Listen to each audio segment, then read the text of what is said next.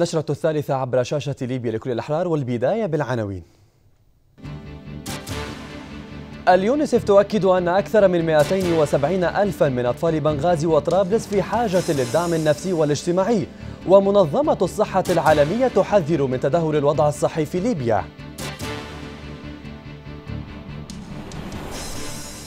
صالح المخزوم يقدم قائمة المجلس الأعلى للدولة ممن أسماهم أعضاء المؤتمر الوطني صحيحي العضوية ويؤكد أنه سيتم استبدال الرافضين للالتحاق بالمجلس. حلف شمال الأطلسي يشدد على ضرورة دعم الحل السياسي في ليبيا ويعرب عن استعداده لدعم حكومة الوفاق ومساعدتها في بناء مؤسساتها الأمنية. أفاد تقرير لمنظمة الأمم المتحدة للطفولة اليونيسف بأن أكثر من 270 ألفا من أطفال بنغازي وطرابلس في حاجة للدعم النفسي والاجتماعي.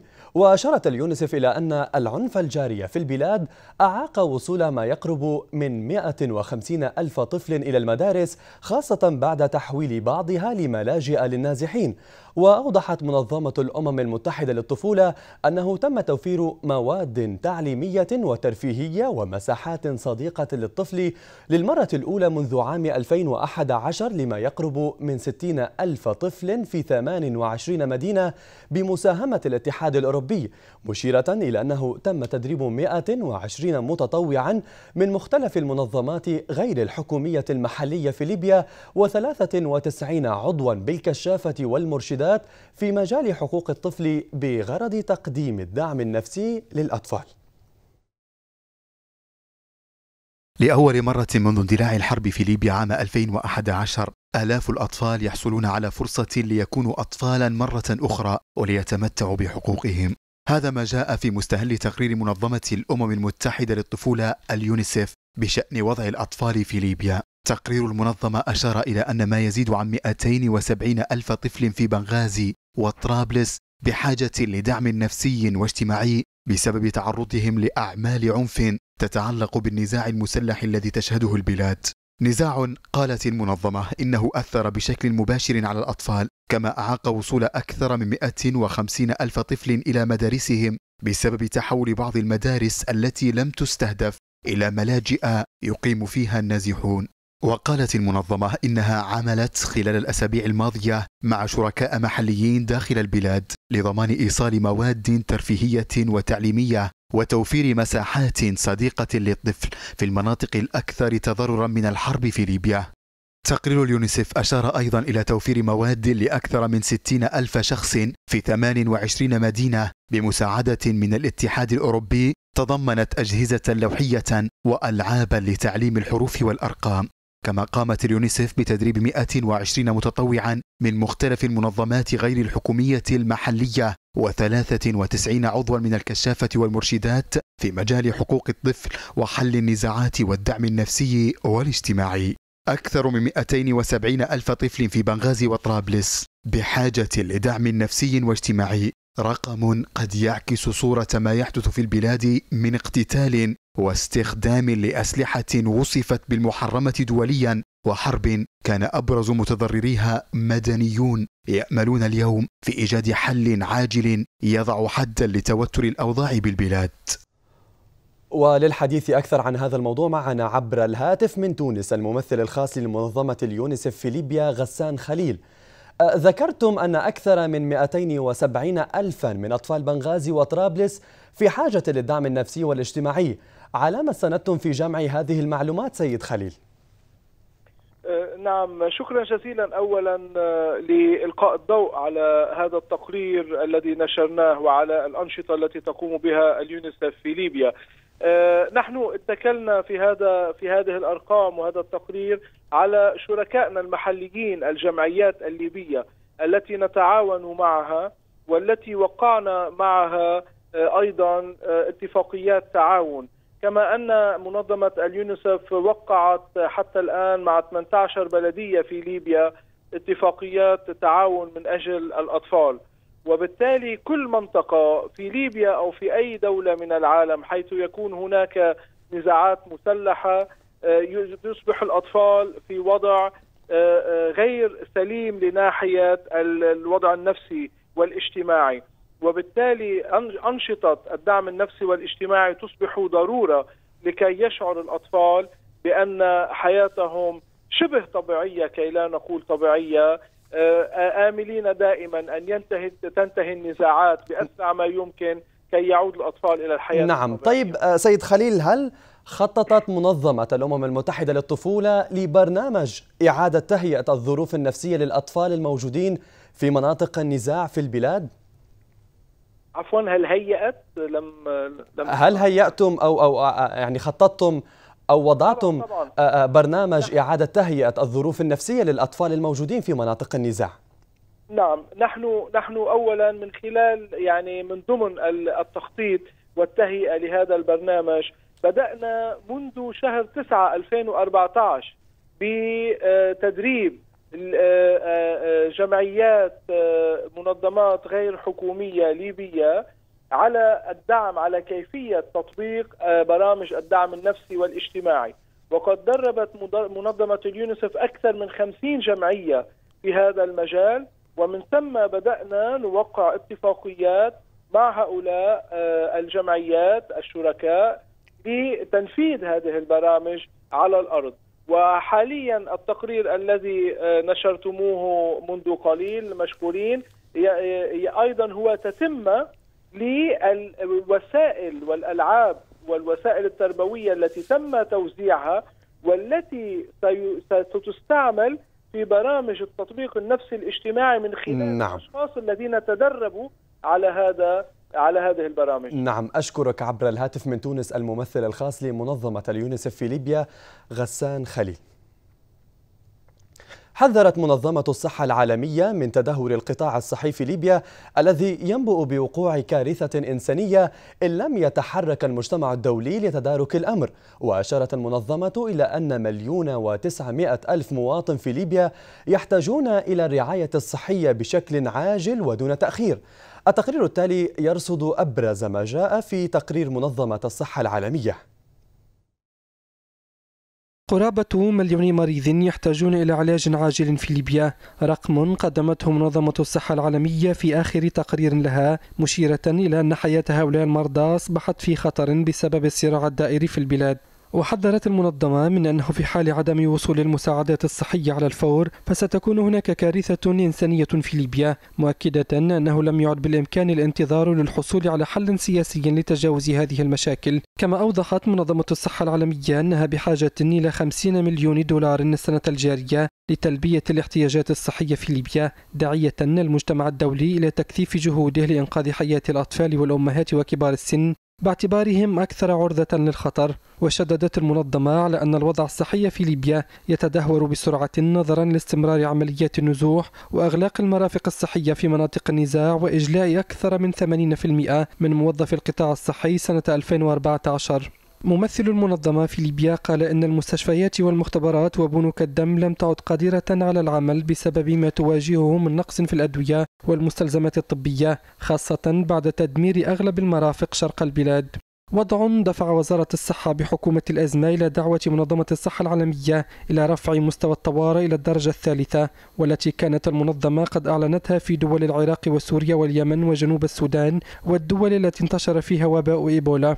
وضع صحي مترد يضاف إلى مجالات تعاني هي الأخرى نتيجة الانقسام السياسي وتواصل تدهور الأوضاع الأمنية والتي تدرج على قائمة أولويات حكومة الوفاق الوطني.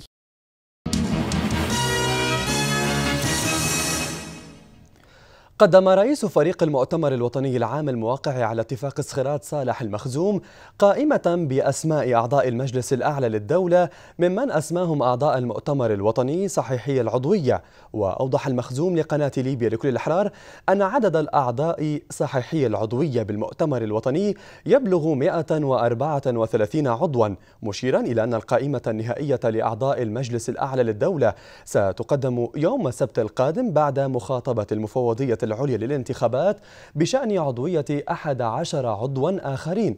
وأضاف المخزوم أنه سيتم استبدال الأعضاء الرافضين للالتحاق بالمجلس الأعلى للدولة مشيرا إلى أن نصاب انعقاد الجلسة الأولى للمجلس سيحدد بناء على عدد الأعضاء الذين سيلتحقون بالجلسة. وينضم إلينا عبر الهاتف من إسطنبول رئيس فريق المؤتمر الوطني العام الموقع على اتفاق الصخيرات صالح المخزوم. سيد المخزوم حددتم قائمة لأعضاء المؤتمر الوطني صحيحية العضوية. ما المقصود من هذه التسمية في القائمة؟ نعم هذا تطبيق الاتفاق السياسي الآن. آه، لا شك أن الأزمة السياسية في ليبيا تحتاج إلى سرعة في تنفيذ هذا الاتفاق وهو بدأ. شكل المجلس رئاسة الوزراء. والآن مجلس النواب سينعقد لتطبيق المادة 16 ويلتحق به المقاطعين له وهو مجلس الدولة يطبق الحوار السياسي لأن المادة تنص على أن رئاسة المؤتمر الوطني العام تقوم بنشر اسماء الأعضاء الصحيحيه العضوية 134 بحيث هم أعضاء مجلس الدولة. وبعدها خلال الأيام القادمة فيما يتعلق بالقائمه النهائية ستكون بعد استلام ال 11 عضو بعد مخاطبة المفوضيه العليا للانتخابات لمعرفة الدوائر التي قد لا تمثل. وهذا سنعلمه جيدا بعد إعداد القائمة النهائية. وإذا رفض البعض الانضمام لمجلس الدولة سوف يستبدل. وحينها ندرك ما هي الدوائر التي لم تمثل ويتم مخاطبة المفوضيه العليا للانتخابات بموافاتنا بالبدائل.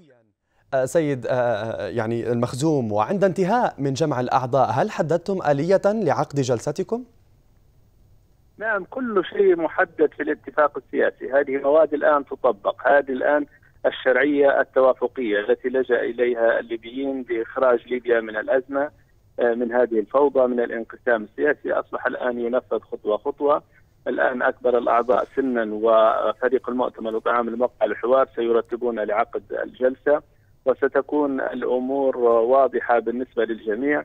حتى المعاملات المالية أوقفت الآن بالتنسيق مع مصرف ليبيا المركزي عن المؤتمر آه، الوطني العام لأن آه، الآن سيحدث قد يحدث هدر أو تصرف غير مسؤول لأن الآن الأجسام أصبحت أجسام جديدة وفقا للاتفاق السياسي. هذا الاتفاق نعم. طيب سيد المخزوم قلتم إن آه، إنه سيتم استبدال الأعضاء الرافضين للالتحاق بمجلس الدولة إذا كنت تسمعني سيد المخزوم عذرا عن المقاطعة. بمن ستستبدلون الأعضاء الرافضين للالتحاق بمجلس الدولة؟ هذه الأمور سيرتبها الفريق القانوني آه، في مجلس آه، في مجلس الدولة مع المفوضية العليا للانتخابات، بالنسبة ل 11 عضو الأمر واضح وهي الدوائر، بالنسبة للعدد بالكامل عندما ينسحب مجموعة من مجلس الدولة بدل أن يتم مخاطبة المفوضية ب 11 عضو فقط سيتم مخاطبتهم بالعدد الذي ينسحب، بمعنى أن لابد أن يكون عدد مجلس الدولة 145 كما هو محدد في الاتفاق السياسي. هذا يعني أن الخطاب سيكون للمفوضية بالعدد الذي سيكون فارغا. بمعنى المقاعد الفارغة سيتم استكمالها عن طريق المفوضية العليا للانتخابات عندما ترد علينا وبذلك يكون الخطوة التالية هي أننا ننتظر العدد الذي سيلتحق بمجلس الدولة. ولا بد أن يلتحق الجميع حقيقة. أنا أناشد زملائي وشركائنا في الوطن أن يدركوا خطورة الموقف وأن هذه فرصة لإنقاذ ما يمكن ما تبقى من ليبيا نعم طيب وماذا عن المؤتمر الوطني العام؟ كيف سيصبح مصيره بعد أول جلسة لأعضاء مجلس الدولة؟ سينتهي مجلس سينتهي المؤتمر الوطني العام ويصبح وصفه يتغير وصفه إلى المجلس الأعلى للدولة من أول جلسة يعقدها المجلس الأعلى للدولة يدعو إليها أكبر الأعضاء سنا. سينتهي المؤ... ستنتهي صفة المؤتمر الوطني العام وذلك بعد إجراء الإعلان والتعديل الدستوري. نعم أشكرك رئيس فريق المؤتمر الوطني العام الموقع على اتفاق الصخيرات صالح المخزوم. كنت معنا عبر الهاتف من إسطنبول.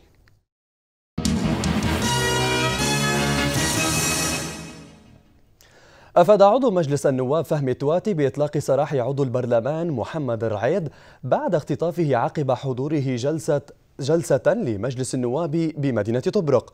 وأوضح التواتي لقناة ليبيا لكل الأحرار أنه تم إبلاغ مجلس النواب بأن الرعيد موجود حاليا في منزل أحد أعيان مدينة طبرق وفي انتظار وصول وفد من المجلس ليتم تسليمه. شدد أمين عام حلف شمال الأطلسي ينس ستولتون بيرغ على ضرورة دعم الجهود الرامية إلى إيجاد حل سياسي في ليبيا وتشكيل حكومة وفاق وطني ووقف شامل لإطلاق النار. وأضاف ستولتنبرغ في مؤتمر صحفي خصص لعرض التقرير السنوي لنشاطات الناتو أن حلف شمال الأطلسي يدعم الجهود الأممية من أجل تسوية الأزمة في ليبيا رغم بعض النكسات على حد تعبيره. وأشار أمين عام حلف شمال الأطلسي أن الناتو مستعد لدعم حكومة الوفاق الوطني ومساعدتها في بناء المؤسسات الأمنية للدولة في حال طلبت الحكومة ذلك وفي حال تحسن الظروف على الأرض حسب قوله. أعلنت وزارة الخارجية الأمريكية أن التحالف الذي تقوده ضد ما يعرف بتنظيم الدولة سيجتمع الثلاثاء المقبل في روما لدراسة إمكانية التدخل ضد التنظيم في ليبيا. وأوضحت الخارجية الأمريكية أن الشركاء في التحالف الذي يضم دولا غربية وعربية سيراجعون التقدم الذي سجل حتى الآن في محاربة التنظيم ويسعون لتعزيز جهودهم لإضعافه. وأشارت الخارجية الأمريكية إلى أن جون كيري سيتوجه بعد اجتماع روما إلى لندن لحضور مؤتمر الدول المانحة لمساعدة وإعادة أعمار ليبيا الذي تنظمه الأمم المتحدة وبريطانيا وألمانيا والنرويج والكويت ومعنا عبر سكايب من لندن الناشط السياسي مفتاح لملوم للحديث عن هذا الموضوع أه، بداية سيد لملوم كيف سينعقد مجلس الدولة في ظل هذا الانقسام داخل المؤتمر الوطني؟ آه، السلام عليكم. أنا كنت أود أن أسأل السيد صالح المخزوم مثل ما حصل مع البرلمان عندما وقعوا في الصخرات وكان عدد الموقعين 92 عضو أو 93 عضو هذا لم يمنع أن هناك أن تعقد جلسة في طبرق لإجراء التوقيع الرسمي على هذه الوثيقة. نحن نعرف أن المؤتمر لم يوقع حتى الآن وأنما وقعوا في إسخيرات هم لا يمثلون المؤتمر حسب ما المفهوم الذي جاء به كوبلر والآخرون على اعتبار أنه لم تكن هناك جلسة كاملة العضوية كاملة النصاب آه، في المؤتمر الوطني لاتخاذ القرار والموافقة على وثيقة الصخيرات فقول السيد صالح المخزوم أن المؤتمر سيتغير إلى مجلس الدولة بدون دون موافقة هذا المؤتمر على هذه الوثيقة ودون إعطاء هذا التأييد لها في في اجتماع رسمي. يبدو أنه مثير للجدل في حد كبير. هناك من يصر على أن البرلمان لابد أن يعقد جلسة ويوقع الوثيقة بخلال التصويت العلني بهذه الجلسة الكاملة العضوية أو كامله النصاب بينما يتجاوز المؤتمر في هذا الإجراء. نعم. طيب سيد لملوم في موضوع آخر. الناتو يشدد على ضرورة إيجاد حل سياسي في ليبيا ويؤكد استعداده لدعم حكومة الوفاق. في المقابل عدد من الدول تدرس آه، آه، إمكانية التدخل العسكري. كيف تقرأ ذلك سيد لملوم؟ وليس غريبا يعني أنا مثل ما أعرف بلغت على أن هناك قوات الآن في مالطا. وهذه القوات هي طائرات وأطقمها التي ستساعدها إلى جانب العمليات الجسية الأرضية والجسية الأخرى سواء كان التزود بالوقود في الجو أو غيره.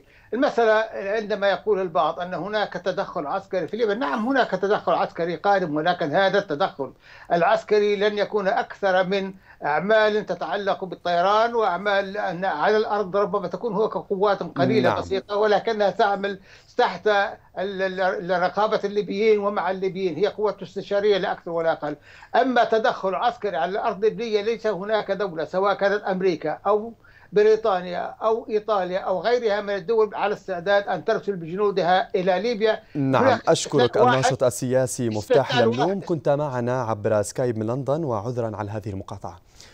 نشرتنا مشاهدين متواصلة وفيها بعد الفاصل. ها يما ها يما آه نحبك. باهي.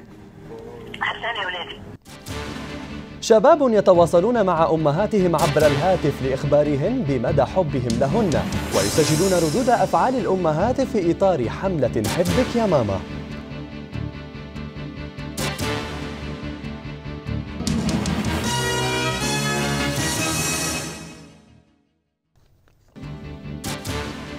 اليونيسف تؤكد أن أكثر من 270 ألفا من أطفال بنغازي وطرابلس في حاجة للدعم النفسي والاجتماعي ومنظمة الصحة العالمية تحذر من تدهور الوضع الصحي في ليبيا.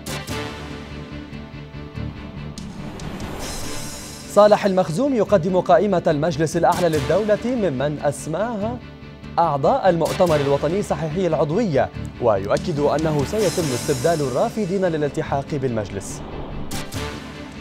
حلف شمال الأطلسي يشدد على ضرورة دعم الحل السياسي في ليبيا ويعرب عن استعداده لدعم حكومة الوفاق ومساعدتها في بناء مؤسساتها الأمنية. أشارت منظمة الهجرة الدولية إلى أن أكثر من 55 ألف مهاجر غير نظامي عبروا المتوسط باتجاه أوروبا خلال شهر يناير الجاري منهم 3400 وصلوا إلى إيطاليا عبر ليبيا. وقالت المنظمة في آخر تقرير لها إن عدد الذين لقوا حتفهم أثناء عبورهم المتوسط بلغ 244 شخصا منهم 26 غرقوا قبالة السواحل الليبية وأوضحت منظمة الهجرة الدولية أن عدد المهاجرين الذين لقوا مصرعهم يفوق عدد الذين توفوا في الأشهر الثمانية الأولى من العام الماضي. وللتعليق على هذا الموضوع ينضم إلينا عبر الهاتف من لندن الباحث في الهجرة غير النظامية أحمد سعدون. سيد سعدون كيف تقرأ الأرقام التي حددها تقرير منظمة الهجرة الدولية بشأن المهاجرين غير النظاميين مساء الخير وشكرا لقناتكم على الاستضافه من دون شك طبعا أنا ما استغرب هذا التقرير لأنه حقيقه عندما يكون الوضع الأمني غير مستقر في أي بلد في العالم وخاصه ليبيا العراق وسوريا آه، يكون هناك انفلات أمني وعدم وجود ضغط حقيقي إلى ما يسمى بالحدود البرية والبحرية وحتى الجوية. فلذلك حقيقه يكون وبالمناسبه تنشر المافيات الدولية ب ما يسمى بالتهريب المافيات آه، نعم أشكرك آه، الباحث في الهجرة غير النظامية. كنت معنا عبر الهاتف من لندن ونعتذر على رداءة الصوت مشاهدينا. قال الناطق باسم الغرفة الأمنية المشتركة زوار حافظ معمر أن السلطات التونسية أبلغتهم بتخفيض ساعات إغلاق معبر راس جدير ليصبح من منتصف الليل حتى السادسة صباحا. وأشار معمر لقناة ليبيا لكل الأحرار إلى أن حركة المعبر تشهد ازدحاما بسبب حلول عطلة نصف السنة الدراسية موضحا أن ما يقارب الألف سيارة تمر يوميا عبر المعبر. في سياق متصل نفى الناطق باسم الغرفة الأمنية المشتركة زوارة ما تم تداوله حول إغلاق المعبر من الجانب التونسي صباح اليوم بسبب تبادل لإطلاق نار في الأراضي الليبية بين مجموعات مسلحة موضحا أن سبب إطلاق النار كان على خلفية عملية قبض على أحد الأشخاص من قبل عناصر مكافحة الجريمة. تداولت مواقع التواصل الاجتماعي فيديو لعدد من الشباب والشابات وهم يتواصلون مع أمهاتهم عبر الهاتف لإخبارهن بمدى حبهم لهن. الحملة التي كان شعارها نحبك يا ماما هي فكرة مقتبسة من برنامج مرئي مشهور ووثقها هؤلاء الأبناء عبر تصويرهم لردة فعل أمهاتهم والتي اختلفت بين الفرح والاستغراب. أمي. آه شنو الجو؟ باي اسمعي. نحبك. ماما كيف حالك؟ أنا كلمتك باش نقول لك نحبك. ماشي مع السلامة. آه يما آه يما آه نحبك باهي. حساني يا ولادي أيوه أيوه أمي. أسمع أنا نحبك. أنا نحبك. سلام. إن شاء الله. نهاية النشرة هذا تذكير بالعناوين. اليونسف تؤكد أن أكثر من 270 ألفا من أطفال بنغازي وطرابلس في حاجة للدعم النفسي والاجتماعي ومنظمة الصحة العالمية تحذر من تدهور الوضع الصحي في ليبيا. صالح المخزوم يقدم قائمة المجلس الأعلى للدولة ممن أسماهم أعضاء المؤتمر الوطني صحيحي العضوية ويؤكد أنه سيتم استبدال الرافضين للالتحاق بالمجلس. حلف شمال الأطلسي يشدد على ضرورة دعم الحل السياسي في ليبيا ويعرب عن استعداده لدعم حكومة الوفاق ومساعدتها في بناء مؤسساتها الأمنية. ختام النشرة في أمان الله.